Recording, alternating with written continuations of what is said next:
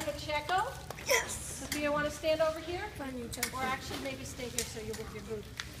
On the count of three, we're going to sing happy birthday really nicely to Sophia. Okay?